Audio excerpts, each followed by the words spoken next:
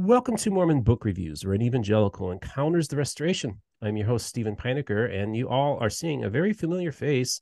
Uh, Jason Olson uh, wrote the book, The Burning Book, and he co authored it with James Goldberg, and it's a Jewish Mormon memoir. Now, before we get there, I just wanted to announce that now we have the month of September is upon us, which means we actually have a new book giveaway for the month of September.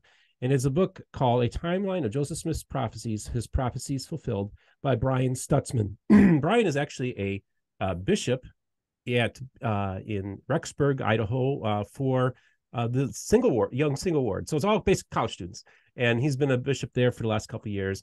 And he actually came down to my studio and we taped an interview about the book here and look for that interview coming up soon as well. So in the description make sure you uh, put in uh, to mormon book reviews at gmail.com and in in the subject heading put in september book giveaway and give me your address in the email. Uh, jason olson author of the burning book. Welcome back to the program back by popular demand. How you doing today? Thank you steve. Thanks so much for for chatting again. It's really really a pleasure to to chat with you so, folks, this episode that we just recently released has exploded. It's performing uh, on a level that you would find from a from a channel that might be 10, 20, 30 times bigger than mine. It's been it's my second most viewed um, video of all time already. It hasn't been even out for two weeks.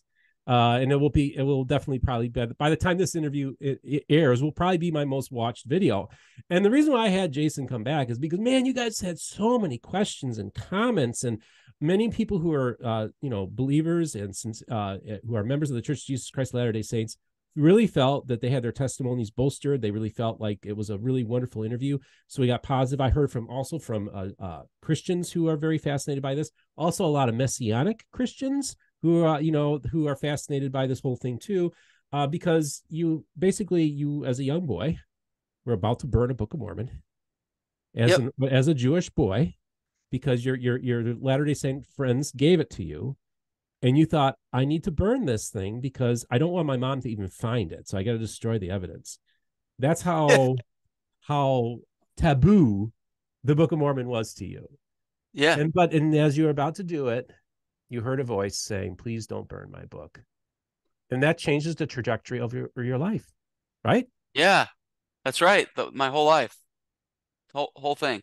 And so, what a great story! So, for those of you who watched the first episode, obviously, but this is for people who have actually watched the episode and you have a ton of questions. So, I just I, I thought what we do is we just do a little short little episode here. We kind of cover some of the topics that have been people have brought up, some questions that people have talked about, maybe things that we didn't have a chance to talk about. I will tell you, this book is really good, very well written.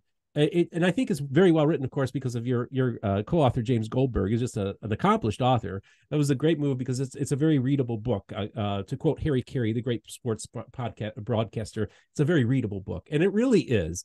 And uh, I so one of the questions I have for you is actually my neighbor um, heard about you. Now he's a messianic uh, Christian, Okay, so so like if you drive by his house, he's got a flag of Israel hanging from his window. Okay, he's he's all all Israel. My community is a lot of Messianic Christians that live here, and wow. he was just fascinated by your story as I related to him. And he said, "Well, he says he's Jewish and he's also a Latter Day Saint.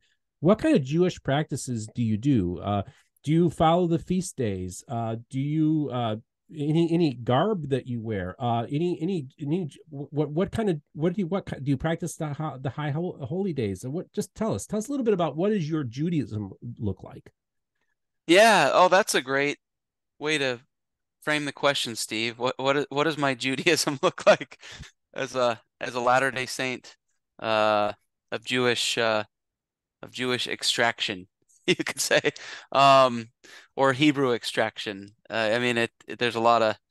Um, so, well, first of all, I I do embrace uh, the Jewish calendar, um, and there I I've always honored it. I've always uh, acknowledged it. I've never uh, turned against it.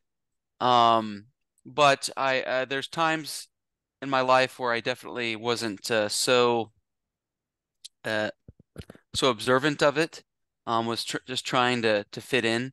Um, I mean, one of those was my my mission for sure when I was a a Latter Day Saint missionary, and um, you know, it just that would have been felt to me too unusual to um to to to live in accordance with the calendar.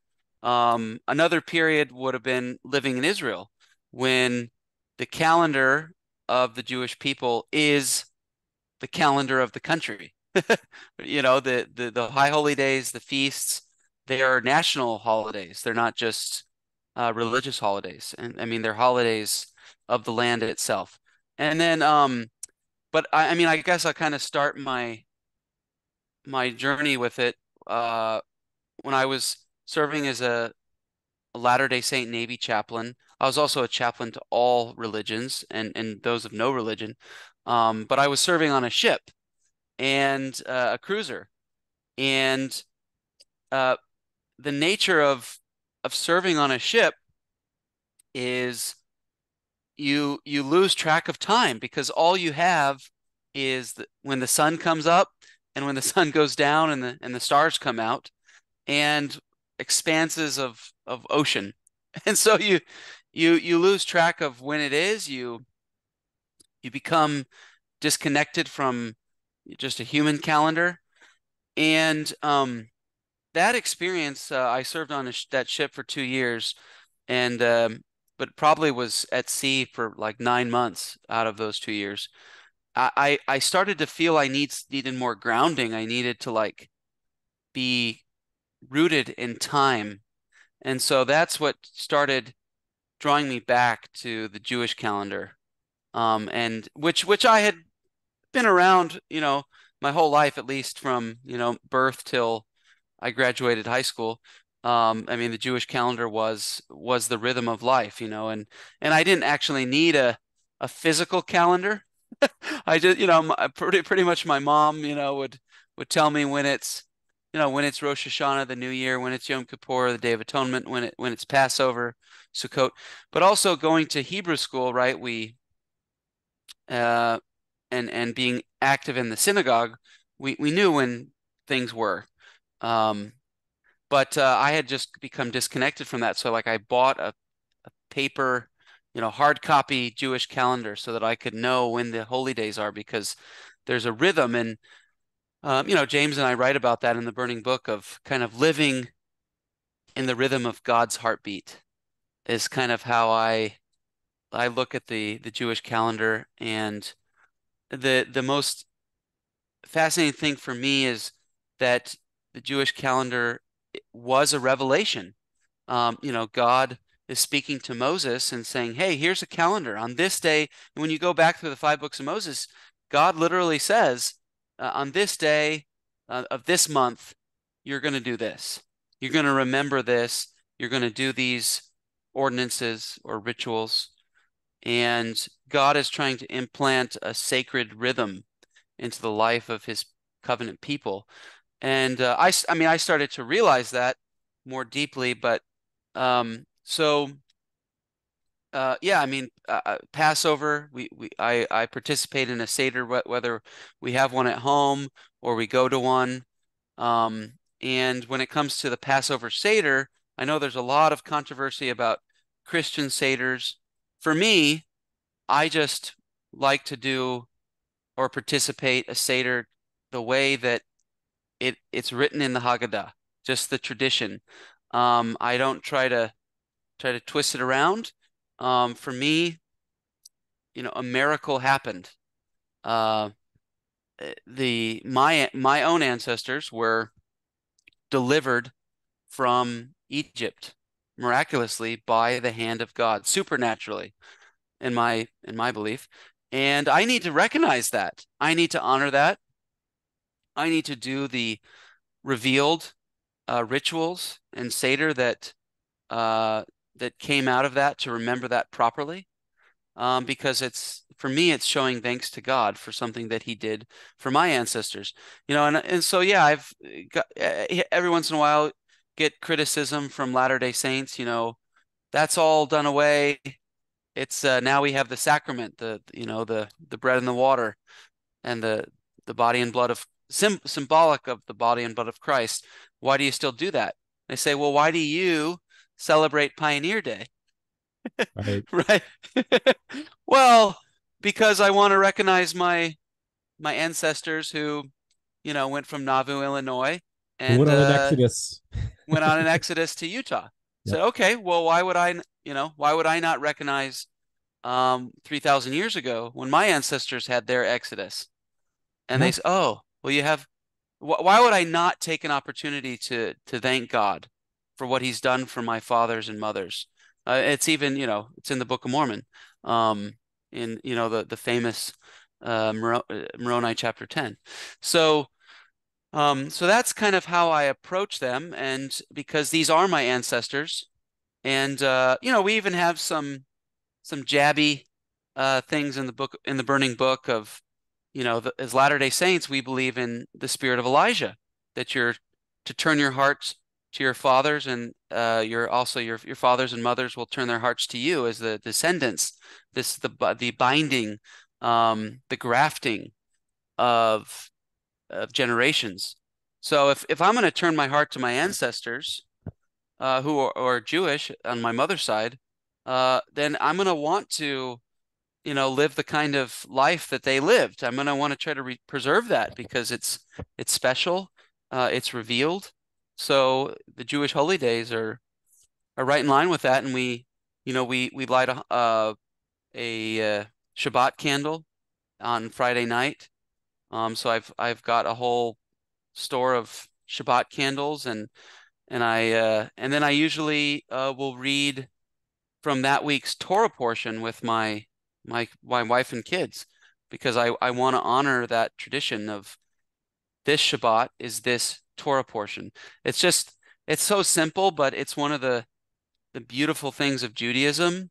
And now I guess I'm kind of you know geeking on Judaism a little bit, and but um you know that you've got the five books of Moses. That's the core scripture of the Jewish people, the five books of Moses, and and this wonderful um, kind of tradition that you know reading a portion of the five books of Moses that all Jews all around the world are reading that same portion every Shabbat.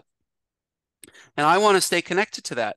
Yes, I've adopted the Book of Mormon and you, Steve, and and those and viewers know that I've adopted the Book of Mormon, but I still feel like the Torah, the five books of Moses, is still actually like my central scripture, my covenant scripture. Right, right. And so I, I really want to stay connected to it. I, I feel tremendous meaning Okay. um, from the Torah portion. But Yeah, you, said, And you, it- you actually said yeah. the Book of Mormon is like a supplement to the Torah.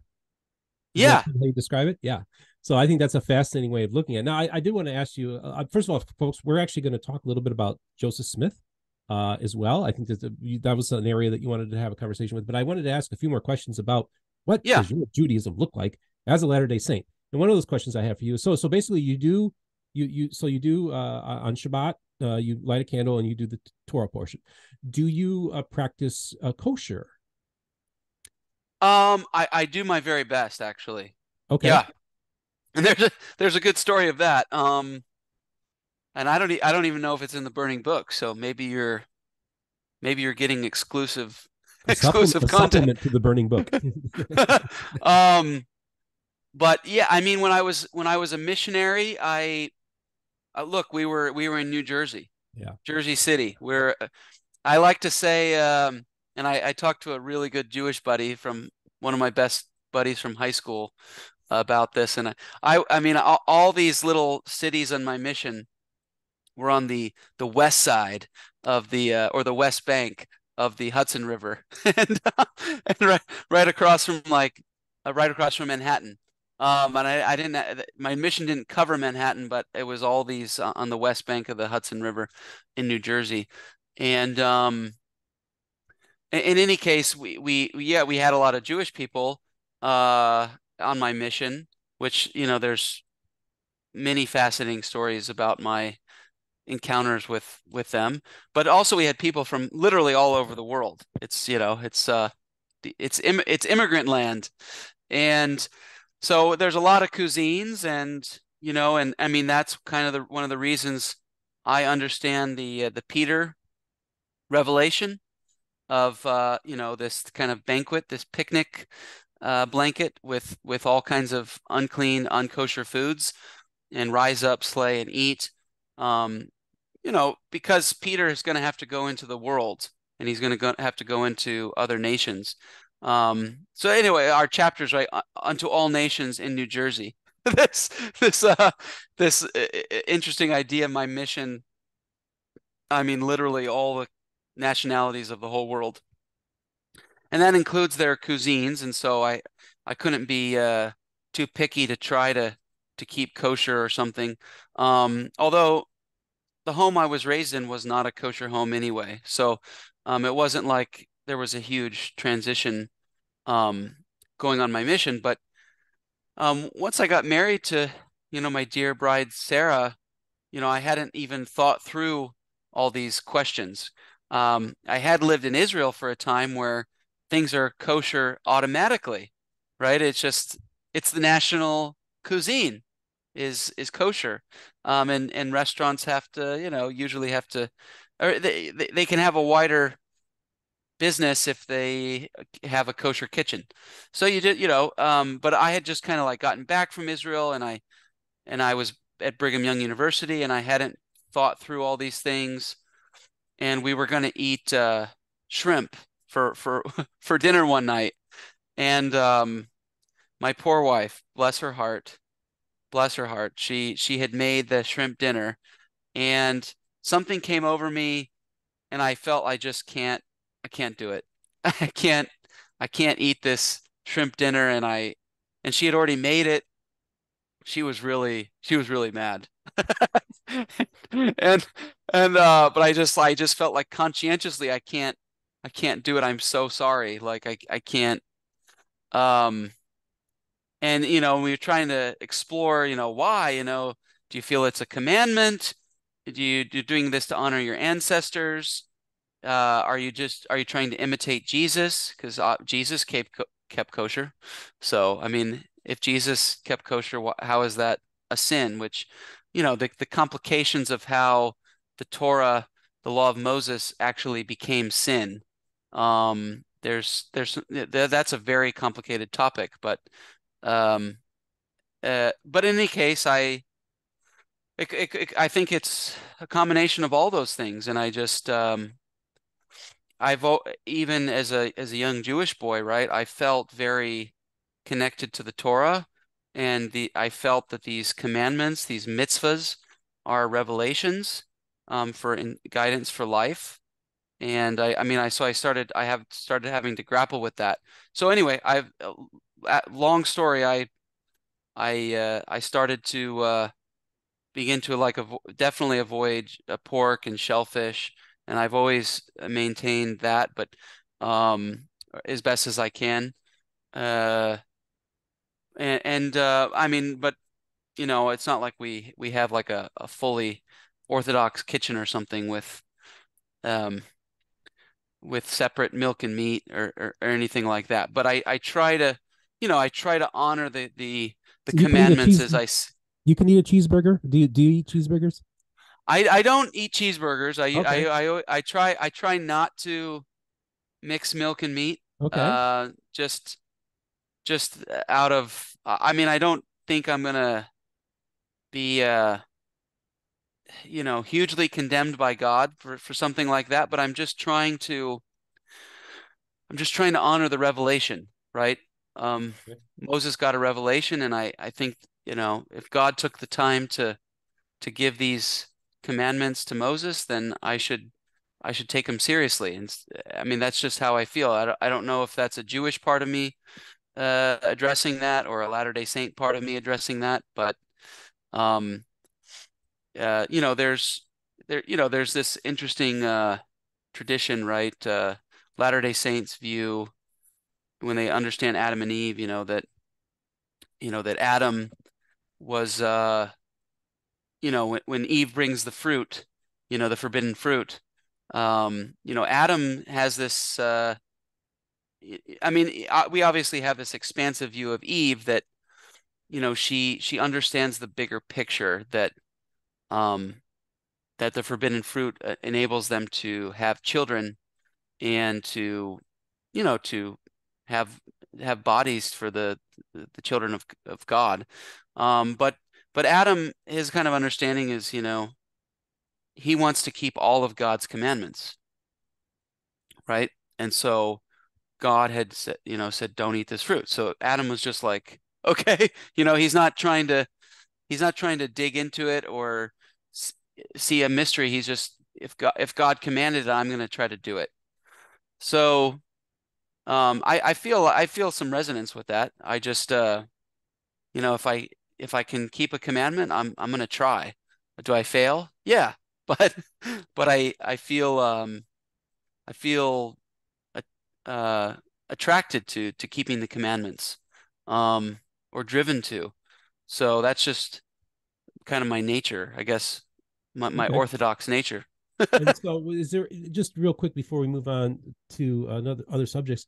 Uh, what other uh, Jewish practices uh, do you do you do? And then are you and then are like for instance, do your do you, do you have your does your family practice kosher or do your do your kids eat cheeseburgers or i mean just to kind of kind of tell me what this means like as as a uh, you know in your within the familial context and any other jewish practices you might be engaging in as well yeah my my wife and kids generally generally uh eat whatever they want um i mean we we don't you know usually have any like pork or shellfish in the home because okay I guess I eat the most. So, yeah. um, but you know, certainly they're they're they're not thinking in those terms. And okay, uh, you're yeah. raising your kids. You're raising your kids to be Latter Day Saints, but you are a practicing Jew who is also a Latter Day Saint. Is that a way of looking at it?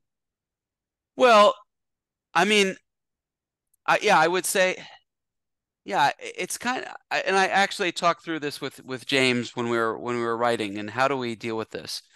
I think there's the way I look at it, there's who you are and what you believe. Yeah.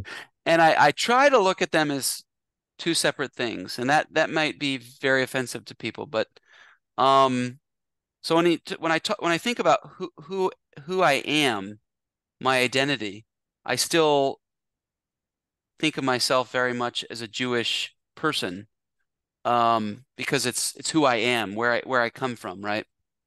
My ancestors, my, uh, but then what do I believe? Well, I, I've definitely embraced the Book of Mormon. I've embraced the Church of Jesus Christ of Latter-day Saints, but um, I'm I would say I acknowledge that there can be friction or uh, yeah, there there there can be uh, some dissonance or yeah, or, or competition uh, between the, the, two um, who you are, what you believe, okay. and and I'm I've become okay with that. I be I'm I'm at peace with that.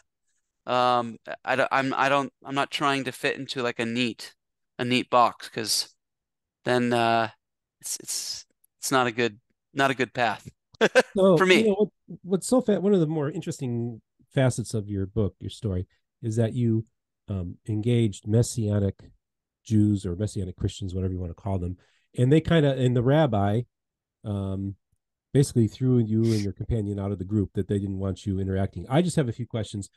Um first of all if you're a messianic christian or jew and you have this jewish boy who was about to burn the book of mormon he hears a voice not to burn the book of mormon. Don't burn my book. And then he has a testimony that jesus is is the messiah as a jewish boy by reading the book of mormon. Um, the question i pose to you messianic christians is what do you make of that? Because I think that's a fascinating story. But I also want to ask you about there's a lot of Jew. Uh, I I noticed there's a lot of Latter Day Saints, and I and this I didn't prepare you for this question, so if I'm catching you off guard, don't don't be you know just gonna.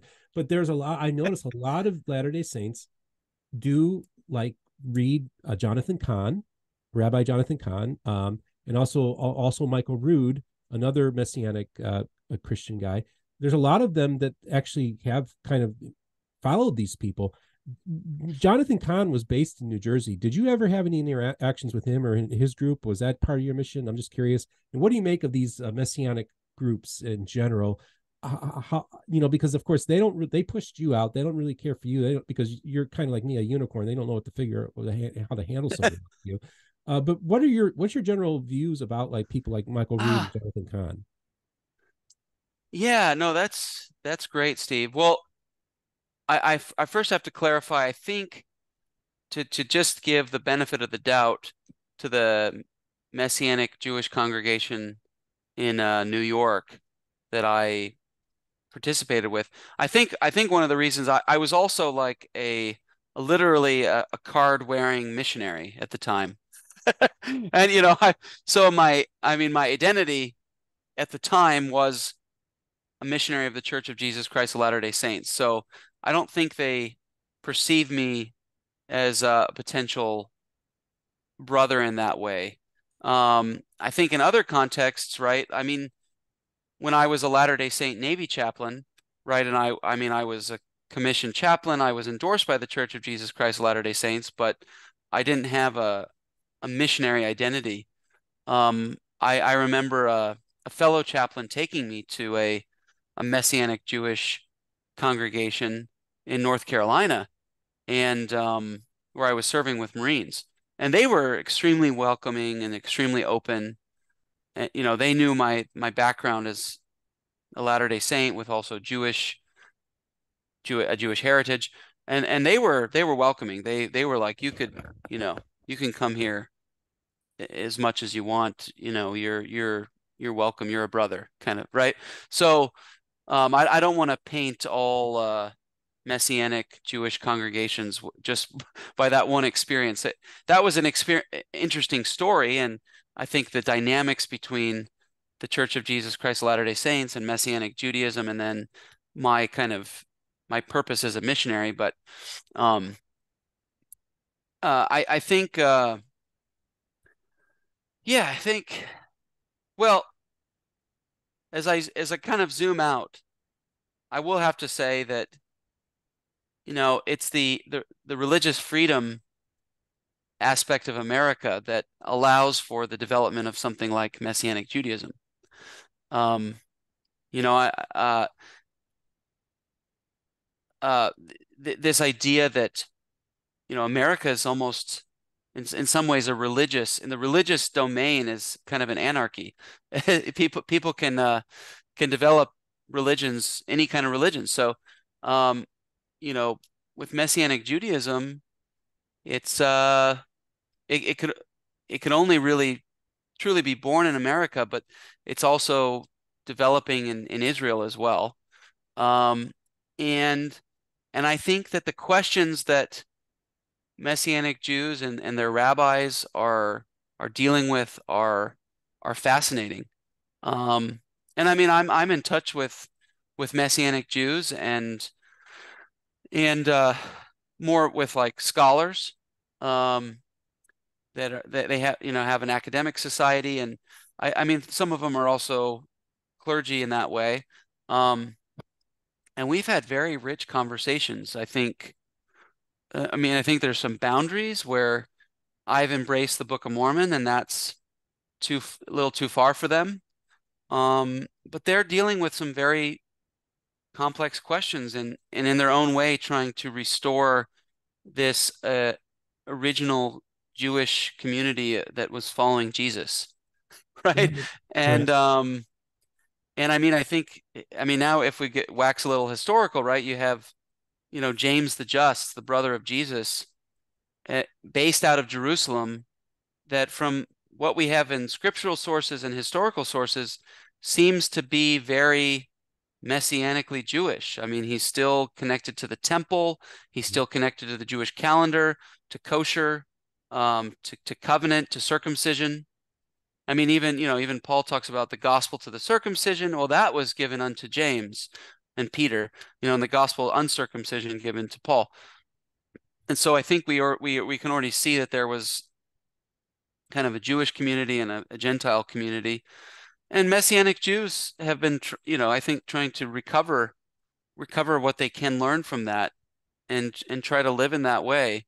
Um and i i think that's a beautiful thing. I mean i i don't i mean and they're they're they're, they're using the scriptures the new testament um and and the uh, and the, the hebrew bible but they're also i've seen them try to work with jewish t- sources as well you know talmud and mishnah I mean, and they're wrestling. Look, I mean, if you're wrestling with scripture, you're wrestling with God. I'm all for it. Okay, I love that. How- That's a great way to look at it. Yeah, I, I agree with you. You know, it's real. What's so fascinating to me is so I I live in a Chri- Christian community. We've had this place since the '80s, and since the '80s, this Christian community every year does a Feast of Tabernacles. Ah, And so later this month, that it's one of their big, big events. People come from all over the country, all over the world, to come to the Feast of Tabernacles. Uh, one and every year, uh, Paul Wilbur, who's a pretty famous uh, musician, and Jonathan Cahn will be. He comes every year to this as well. Um, I'm. I, I want to go back to uh, just these characters. Are you familiar with Jonathan Cahn and or Michael Rood? They're kind of leaders within the Messianic world, and also there's a lot of overlap within the the Mormon world as well, or Latter Day. Yeah, yeah, and, um, a little familiar with them. I yeah, I mean, there's some, some others that I I think are that I'm uh, like Rabbi Jason Sobel that I, that I'm more a little more familiar with that consults for the Chosen. I th- I mean, I think the Chosen is is uh has a very strong Messianic Jewish uh influence in Okay. it, which which Okay. which I which I love, which I um and I mean we could also talk about right the tension between the normative Jewish community and the Messianic Jewish community. And that's, you know, that's also something I'm very sensitive of. Um Good. and uh eh, you know, I mean, so the the the idea of the completed Jew, right? Right. Or I that that's why eh, you know, and James and I talked through this. That's why I need it was so so important to have like a a beautiful soul as a as a co-author to try to figure these things out because we were James and I were working on questions that Latter-day Saints have never asked in the history of the Church of Jesus Christ of Latter-day Saints. Yeah. We- and so we had to figure out how we're going to write about it. Hmm. And um and uh and so yeah, so on on that uh on that question um uh well actually I forgot where I was going with that. Well, but-. Well, so yeah, the, the completed Jew is a problematic. completed Jew. Yeah. Yeah. It's- So- I, so I will never use that term because I, I do think it's a slap in the face of the the Jewish people. Um, I think after Yes. especially after two thousand years of history of persecution and the na- and done in the name of Christ to these people, I'm never ever going to try to define their religion for them or tell them that they're not properly following their religion because I'm sorry, that's just I ain't going there, man. You know, because that just leads to a lot Yeah. of bad things. and so that's And, uh, that's yeah. where we got to be careful with those tensions too. And that's that's why I I Mm-hmm. don't use that term. I don't I will not define myself as a completed Jew. I I, I would say I'm I'm a Jew in in conflict. I'm a Jew in uh or I'm uh I'm compromised. I think that Okay. you know as as James and I kind of dialogue with it, we're like, well, how how are we going to do this? Because there's Right. so much friction between Judaism and Messianic Judaism. Yes. So so we kind of settled on this compromised Jew. Okay.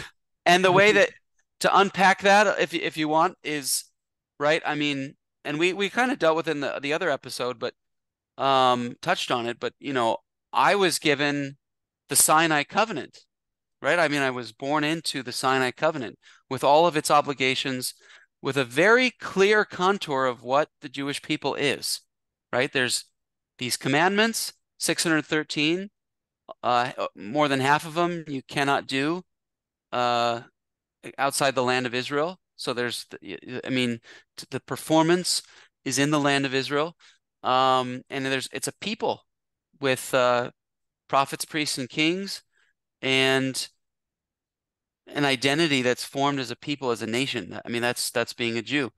And so, if I go and I I embrace what what I perceive as a, another or a a branch or I mean that you could look at in different ways of uh, of a covenant, Cumorah covenant, um, that that kind of flows through the Book of Mormon.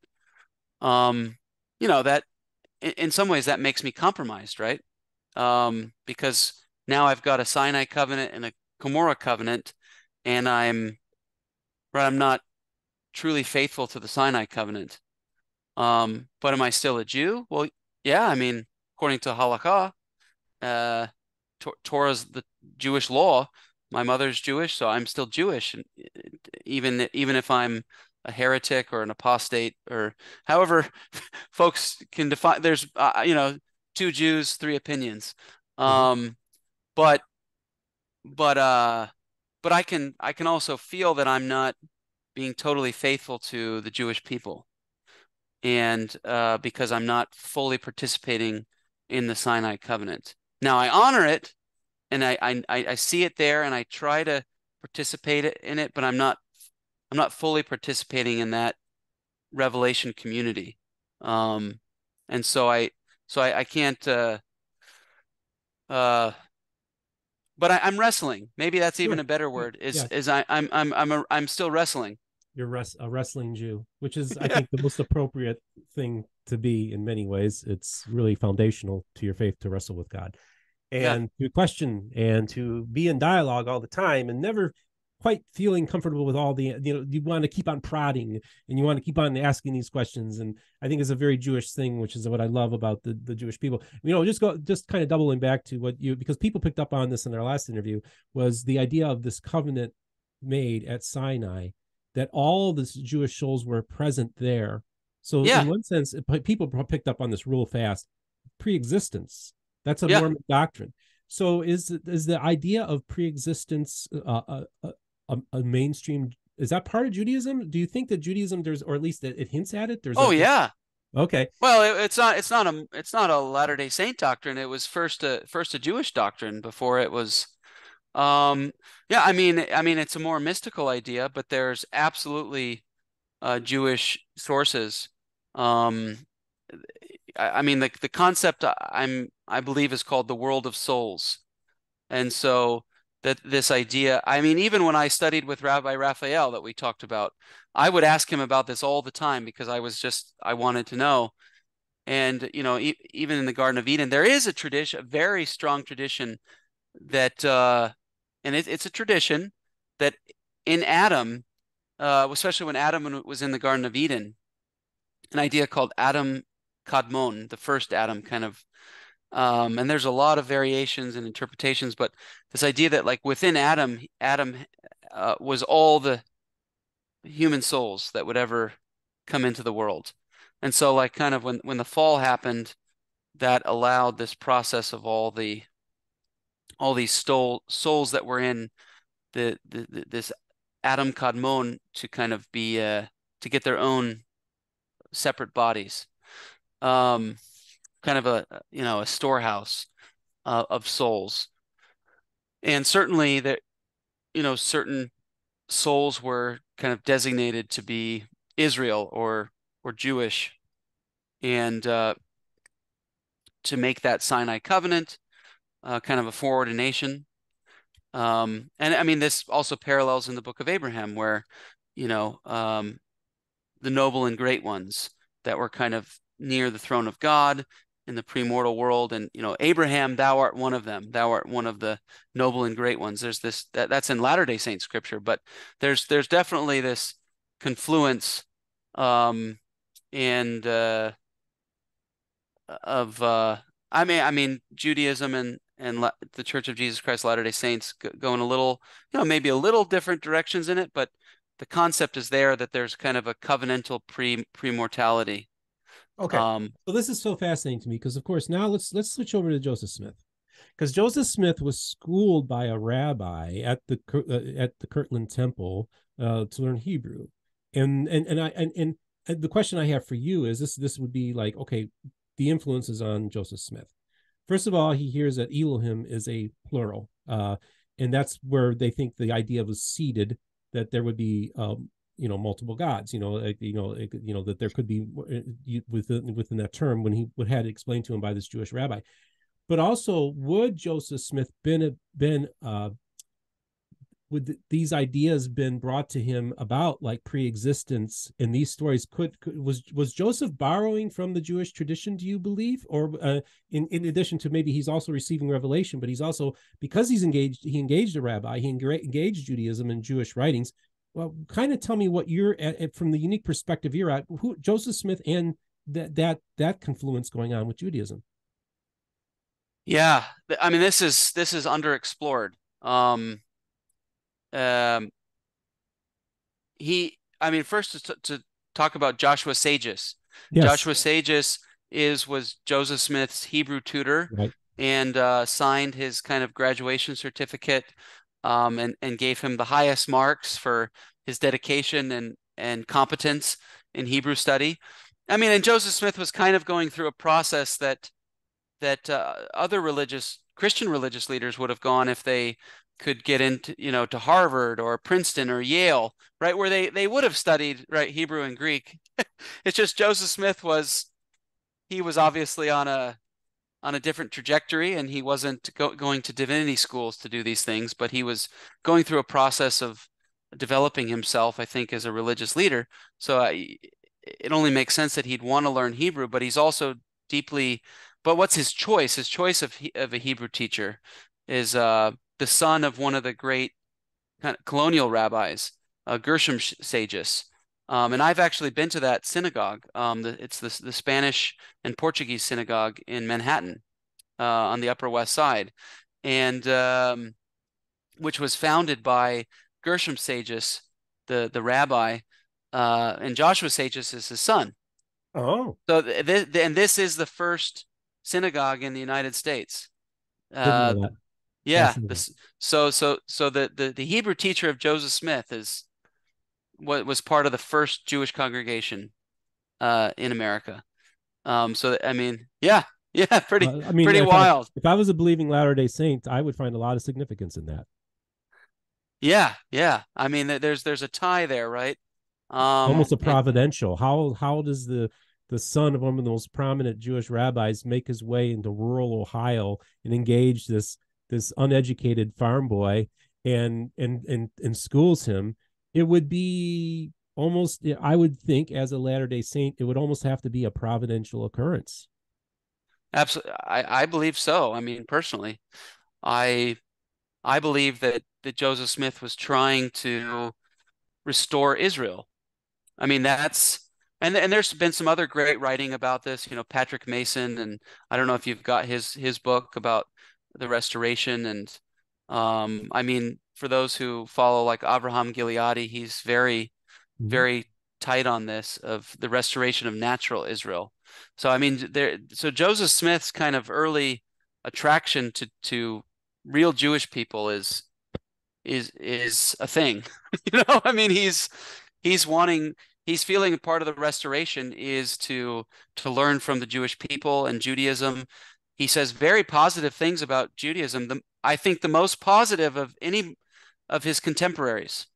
I mean he he there's a, a divine he calls it attendance on divine um inculca- on uh, on divine inculcation which is kind of a strange phrase but that that- that's quote from Joseph Smith. Judaism is an attendance on divine inculcation and uh, real piety.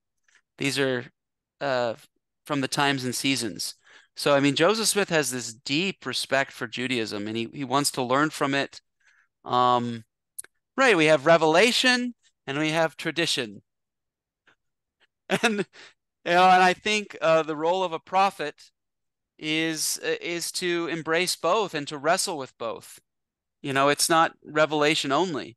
Um, tradition, in my view, is uh, received revelation or or passed down revelation, right? And so, if a revelation happened on Mount Sinai, which I'm certain it did. You know, I'm in that way a believing Jew in that way. um, and and Moses had this incredible revelation, which is also attested in the book of Moses, a, a Latter-day Saint scripture, that Moses like received everything. Well, if if Judaism has, but through the process of tradition, passed down that revelation I, I would imagine that a, the, the prophet of a, of a restoration would want to tap into that and see what he can learn from that tradition, um, which would, would could enhance some of the the basic or um, the raw revelations that he's receiving, you know, in in the early 19th century. And um, so I, I think you, you, you maybe there's some beautiful synthesis syntheses happening. Harold Bloom in the American Religion. I don't know if you've read that. I oh mean, yeah, he's Joseph he's Smith ex- is Metatron. Well, I, That's what I- Harold says. uh, yeah. Oh, I, don't- I don't know about that. I didn't know that that quote, but Oh, yeah. uh, but he. I mean, yeah. I mean, he's Harold Bloom was you know a real fan of the Kabbalah and Yep. and he's seeing a lot of connections between Joseph Smith and, and Jewish mysticism. And he, I mean, you know, he calls Joseph Smith a religious genius. yes. Um, I see. fact, I, I love Yeah. I love the uh, that the, the the the the audacity of Howard uh, uh, Bloom in engaging Joseph Smith within a Jewish context. Yeah. And how how he praised him so effusively that I honestly I, I kind of forget about my engaging with Joseph Smith. I tell people, you know, I kind of fell in love with Joseph Smith in many ways by reading Rough Stone Rolling, by reading know my, Yeah. knows my history in one sense. This is a very complicated, nuanced thing, of course, from my perspective. Yeah. But I have I'm starting to wonder now, I kind of forget about Harold Bloom's book where he talks about Joseph. And really, in one sense, yeah. And you got to look up that paper. Look it up. Google it. Uh, Harold Bloom, Joseph Smith is Metatron. He wrote a whole paper saying that Joseph Smith. is Oh. Metatron. okay. oh wow. Okay. Yeah. So Okay. so so this that's Okay. he took it that that far, dude. He Wow. you know, I mean, he basically made Joseph Okay. Into a divine character. So, so to me, that's that's that's what makes the this interaction, this conversation that Judaism is having with the Restoration. The fact that we have this, but then we have this complex relationship too, because at the same time, we don't have a Hebrew edition of the Book of Mormon. Why? Because of the agreement that they made with the Israeli government in order to build the Jerusalem Center, the BYU Jerusalem Center. They agreed not to do any proselytizing, nor would Yeah. they publish a Hebrew Book of Mormon. So maybe just talk a little bit about that because that's also another fascinating fascinating overlap. And they're Wow. the only church, they're the only church that has actually agreed with the, they have an official agreement with the government of Israel not to proselytize. It's a very unique story. Wow, Steve. I, I'm really impressed. I'm really impressed. You you know uh you know things that are well beyond the knowledge of, of many many a Latter-day Saints. So that's kol hakavod, which we would say in Hebrew. You know, all all the glory to you. Oh. Um yeah, it's like a yeah, it's like a, a Hebrew uh kol hakavod. Um yeah, I uh, th so there there is a Hebrew Book of Mormon that exists but it's it's been totally discontinued. Um, and when I was a, I mean, I, I always loved telling stories, but when I was a student at Brigham Young University, uh, we had this amazing um, modern Israeli Hebrew teacher. Oh. You okay? Oh yeah. Okay, yeah. I'm just- I'm grabbing a Book of Mormon for you real quick. So, Oh okay. No, just to keep talking. Oh, okay. Um, yeah, we had this amazing Hebrew teacher, Monica is her name. Um, and and you know, my shout out to Monica. Um, she was she was a great teacher and friend. Um, but she was able to get us as Hebrew students at Brigham Young University, um, some printed, like specially printed copies of the he the Book of Mormon in Hebrew, you know, li limited edition. And um, you know, because we're Hebrew students, so we, we, you know, we want to study it. Um, but yeah, as part of the, there's a, a fascinating history that, that in some ways the church was ramping up, and it was it was working on this Hebrew Book of Mormon, and there was uh, Elder Legrand Richards was his name uh, of the Quorum of the Twelve Apostles, and he was working with um, this famous Latter Day Saint named Rose Marie Reid, and she developed uh, swimsuits for women and was very famous, based out of Los Angeles, and um, and they were these kind of two collaborated, colluded to you know try to do more missionary work amongst Jewish people, and um, but during that time, the the church was also negotiating with the Israeli government to uh, to broker the Brigham Young University Jerusalem Center. So there was, you know, there's these two Mm-hmm. uh, impulses that were happening at the same time, uh, around the same time. Uh, I'd, I'd have to go back and check the dates, but um, ultimately, the uh, the the Brigham Young U- Jerusalem University Jerusalem Center won out, and and that's when they they put the cap and put the pause on uh, the Book of Mormon Hebrew publishing and and discontinued it. and you know just stopped it in its tracks because they you know they're wanting to build trust with with the Israeli government with the Jewish people. You know we're you can't if you've promised not to proselytize then you can't you can't just keep printing Hebrew copies of the Book of Mormon right? I mean that's it's not having integrity. So I, I mean I guess I would if, if I kind of zoom out I look at it as this example of integrity that the that the church the leaders of the church, the first presidency, quorum of the twelve, or uh, apostles are, are are wanting to keep trust, and and and they they they demonstrated integrity with with Israel, with the Jewish people. Um, you know, for me, that would be nice to have more copies of the Book of Mormon in Hebrew, or be able to get like a nice one or something, and not like a, a spiral bound, right? Uh, which one that I got, but um, well, but I'm grateful that, that that that the leaders of the church have. I mean, they they really have absolute integrity. So, well, I, I will talk to you off camera about this because I'm actually um, I'm knowledgeable of a group that is in the process of translating the Book of Mormon into Hebrew, and it's supposed to it's going to be a really excellent one. But I I wanted to ask you, do you have a copy of this edition of the Book of Mormon, the Stick of Joseph in the Hand of Ephraim? Um, I've heard a, of it. Yeah, I've I don't have a copy, but I've I've heard of it. Yeah. So it's a, it's kind of a it's kind of a uh, a Yiddish version of the Book of Mormon. So it's written, oh. written in English, but it has a, a, and, and also like for instance, originally translated by Yosef ben Yosef.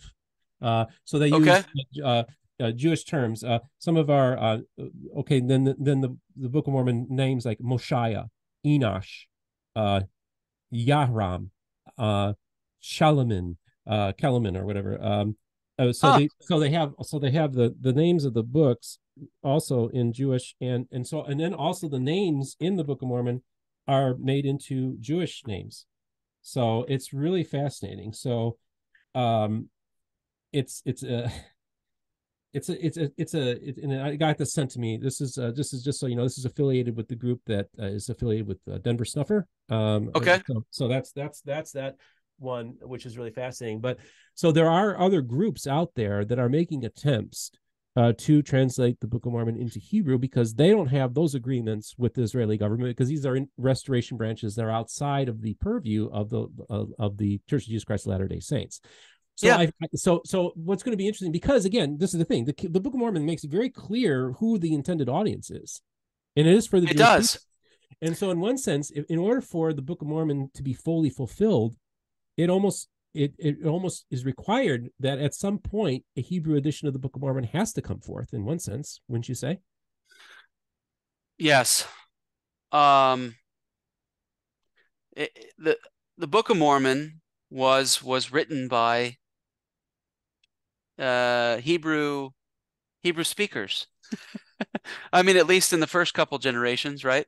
Right. I mean even even Moroni says that if our plates would have been uh, sufficiently large, we we would have written in Hebrew, and there you would find no imperfection in our record. Um, I, I think there's this desire of the Book of Mormon prophets and writers to to write in Hebrew, um, and they they do view it as a, pure language. Um, I mean, there, there's a, a Hebrew philia in the Book of Mormon. There's no doubt. And there's a Judeophilia in the Book of Mormon. It's it's it's an attractive book. I I talked talked about this with a Jewish Latter Day Saint convert friend. You know, I mean, uh, I mean the Jewish people wrote the Book of Mormon. So if I take off my kind of my uh, deeply embedded devotional hat, right? I mean, it's it's I view the Book of Mormon as our cultural artifact. Yeah.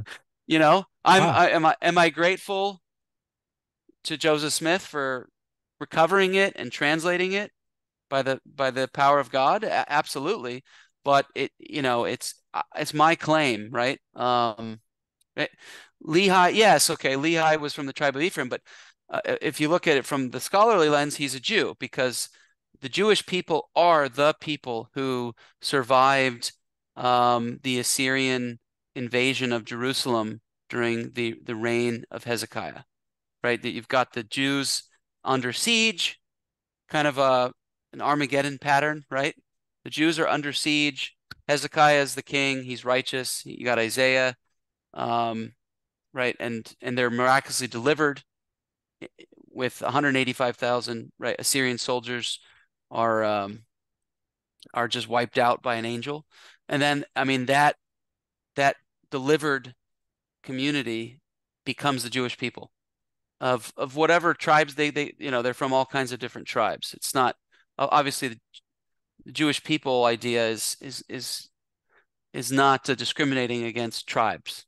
It's that's not what it's about. It's about Judah, those people that were redeemed, uh, deli- you know, delivered in Judea, in Jerusalem. Um, so Lehi clearly comes from there. I mean, right? Sure. He leaves before the Babylonian exile. So, so Lehi, Nephi, Laman, Lem, they're all Jews, um, and they wrote this record. They wanted to write it in Hebrew. They they practiced Torah. Um, that's why we've talked about the the transition, right. but it's uh in that sense, uh, it's yeah, it's it's it's my it's a cultural artifact of my people, and okay. Um, okay. so yeah, well, this, I mean, in, that sense, uh, within yeah. within Judaism, it's believed that the pure language is is is Hebrew, right? Like that's absolutely the, okay. So then that it begs the question because the Book of Mormon also tells us that there is a group of people that were allowed to keep the Adamic language, and that would have been the Jaredites. So if the Jaredites okay. would, would have probably then would have had the Adamic language, which I'm assuming is the is pure Hebrew, and so so so now we so would, so would you agree that the the book of ether is would would have been written in hebrew? I don't know. That's a good question. And what's so fascinating I, I, I would i would like to assume so. So we're using but see this also can also talks about how the corruption let's just let's just say okay because it, it to me it's implied that if we have a, a base language, a pure language, an Adamic language, which within Judaism would have been Hebrew, and that the Jaredites were able to maintain their language, right? They they they went during the scattering, right?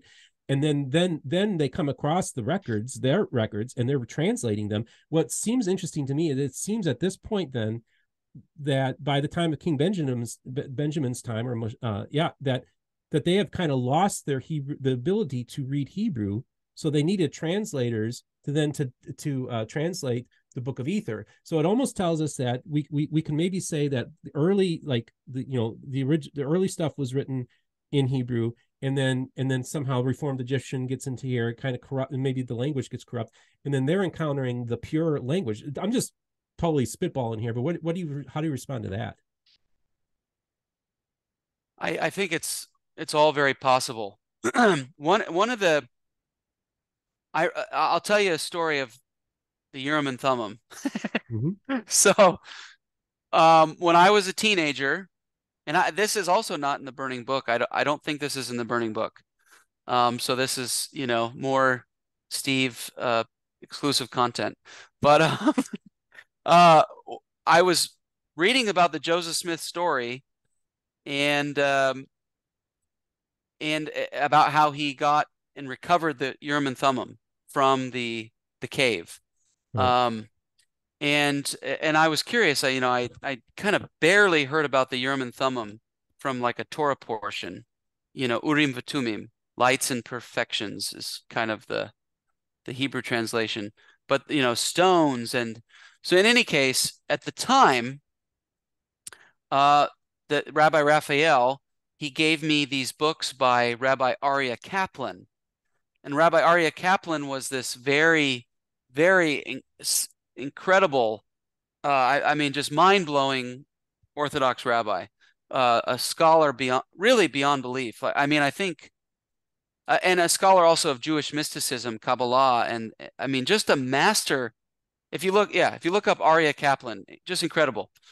Uh, you you you would you would love it, Steve, if you get some of his stuff. But he has this two volume Handbook of Jewish Thought. I've always been into that. Um, and so I look up Urim and Thummim, Urim V'Tumim, in uh, Aryeh Kaplan's Handbook of Jewish Thought, and then I I read about how it actually worked. And this this is also pulling from Talmud, right? Because you can't. I mean, there Urim and Thummim is just barely mentioned in the in the Torah, the in the written Torah, right?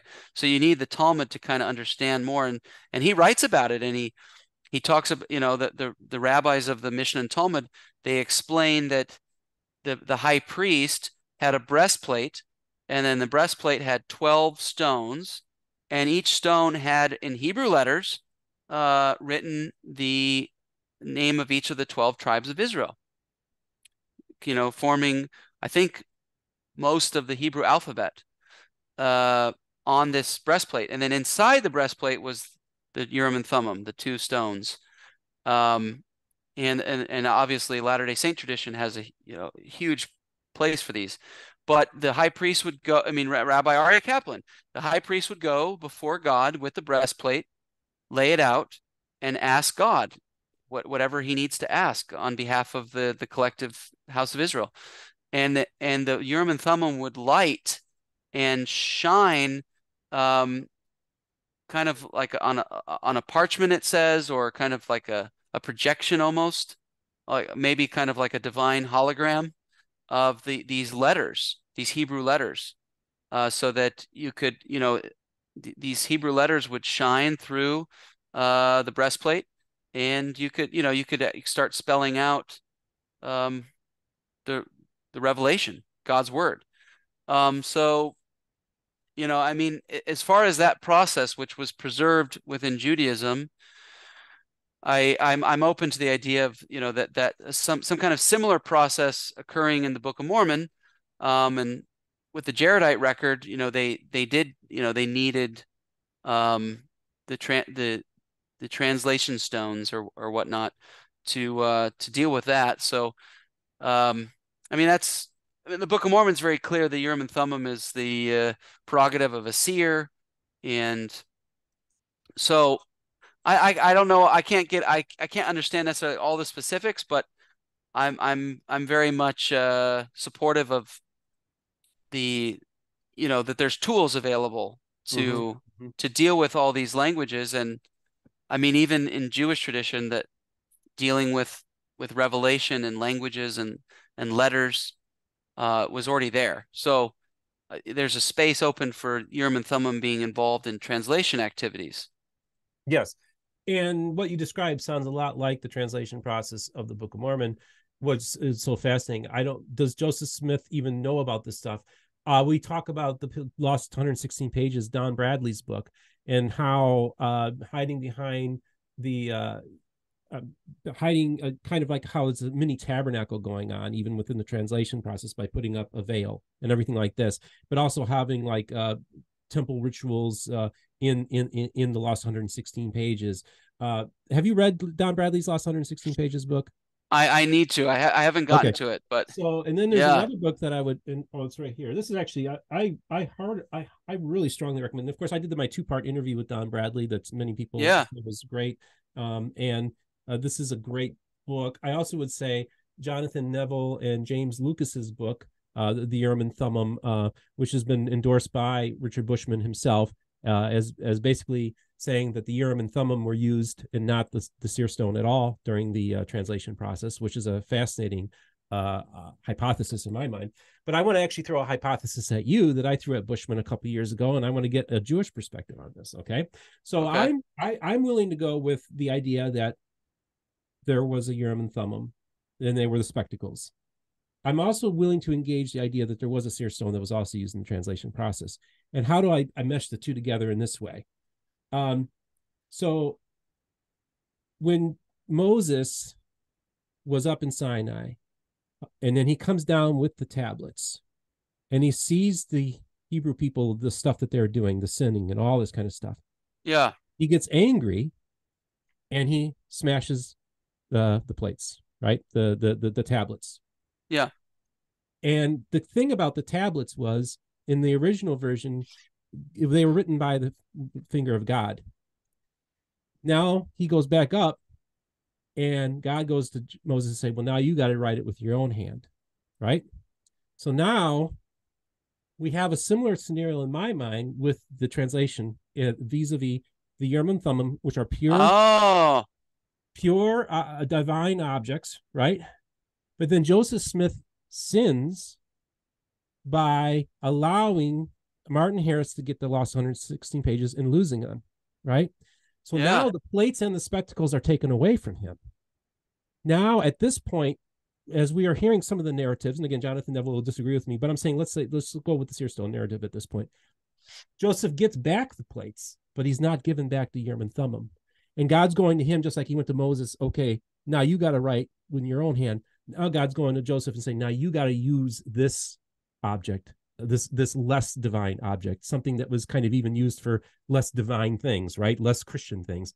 And now you were going to end up with a translation of the Book of Mormon using this object a second a, a, lesser object you could have been using the divine instruments just like i we you could have had the tablets written in my finger and so to me it's a parallel that i think is a stunning one that that i don't think could have been planned. I mean what, what are your thoughts on that? Wow.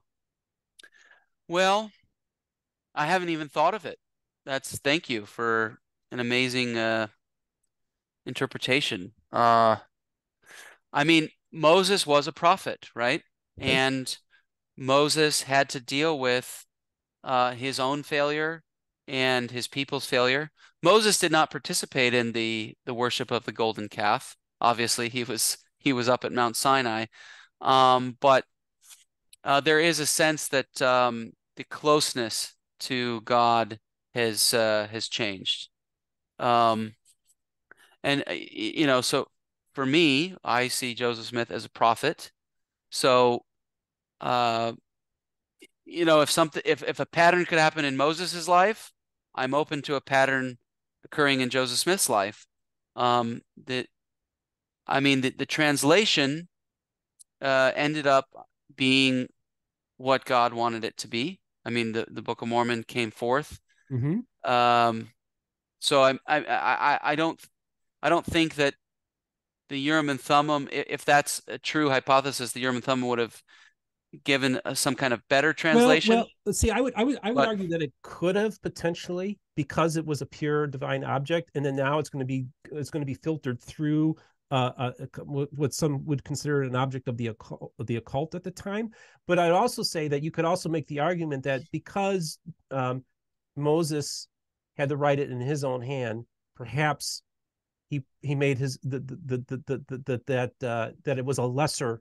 In other words, I think that in one sense, I think that God's grace that we see in the New Testament would have been maybe more uh, obvious in the Ten Commandments, but because Moses is like they don't deserve this, this is going to be more works and so now it's that now now now things are being filtered through ah. Moses. And then we're having the yeah. same thing happening with the Book of Mormon that you could have had a pure, even a better translation, but now you're gonna have a lesser translation, and this will be a stumbling block to many people because you use the seer stone.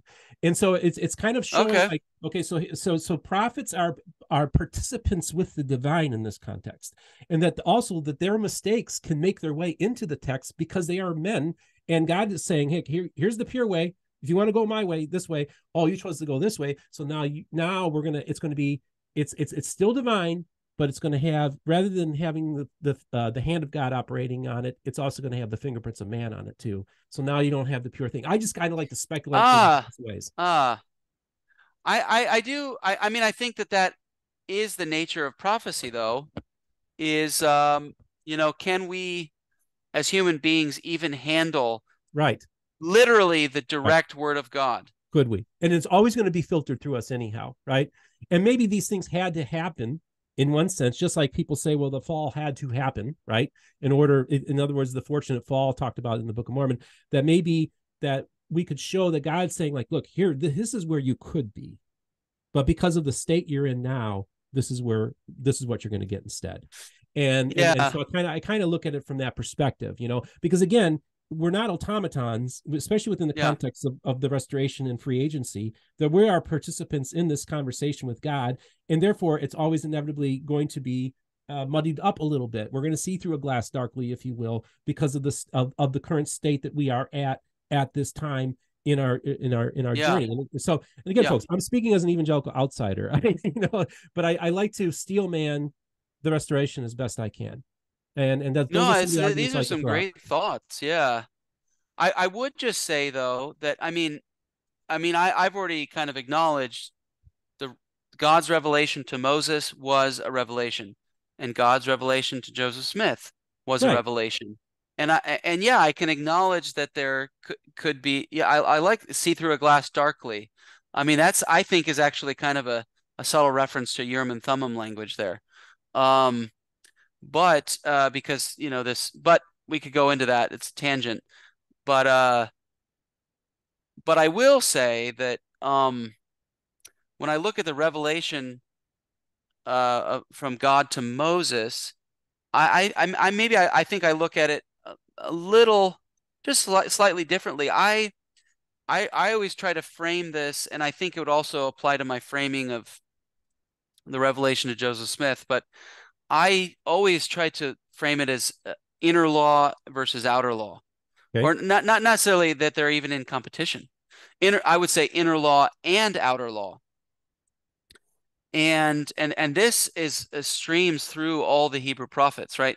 And that's that's where um, I think, as Christians in general, writ large, we don't give enough credence to the to the rest of the Hebrew prophets. We like to make it about Moses versus Paul, and that's it. And we're like Moses versus Paul, and then and we we have them fight each other.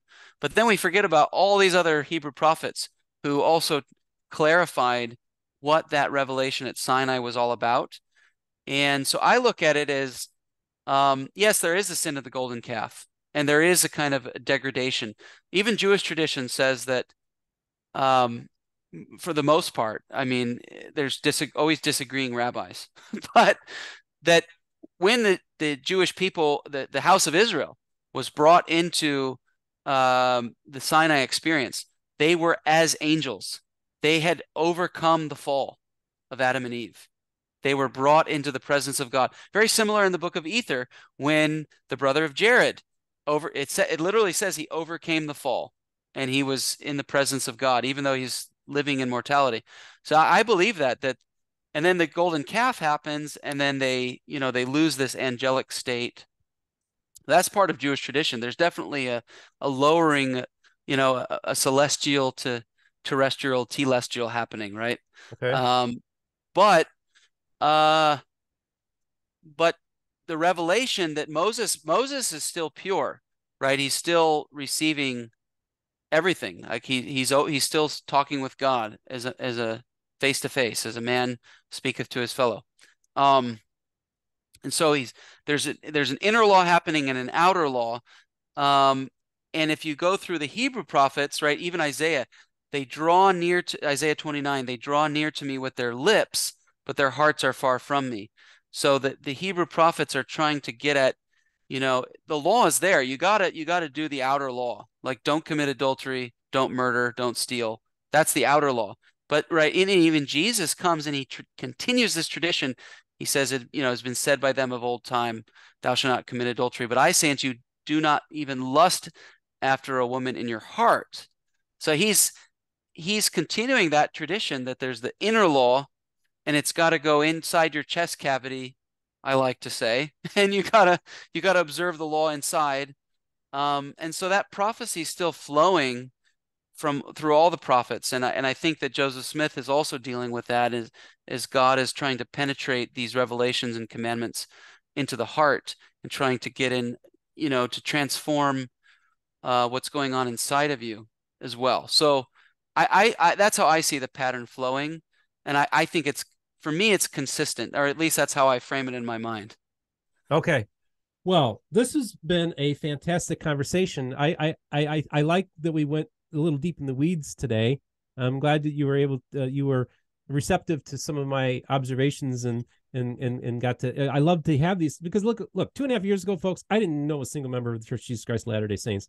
So I literally have decades of me studying Mormonism and having these questions and say, well, now I get to ask them and I get to I get to you know get get to have this dialogue. What I find so fascinating is is how because I was a total outsider, total totally isolated from the restoration, all I had was my books and the internet and the library and reading papers online and and and and and I'm I'm kind of trying to bring something to the table uh to these conversations as an outsider. So I hope I hope you enjoyed enjoyed that.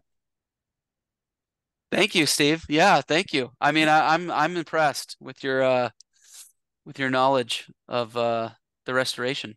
And I'm impressed with this book the burning book. I'm impressed with you as a human being Jason. I think you're an awesome dude. Um I it's Labor Day And as we as we started early on in the conversation, I realized I hadn't had any breakfast, and here we are Oh. talking about kosher, and I'm like dying. I'm talking about hamburgers. I'm like, man, I'm really hungry, getting hungry. Oh, no. I didn't know if I was going to, but I powered through it. So thank you, folks, for putting up with that, uh, b- being patient. Because for a while there, I was like, man, I got to eat something.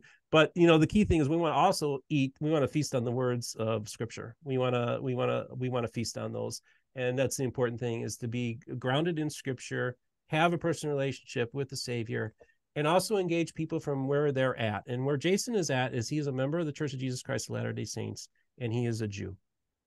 And that's how I look at it. And I love you, Jason.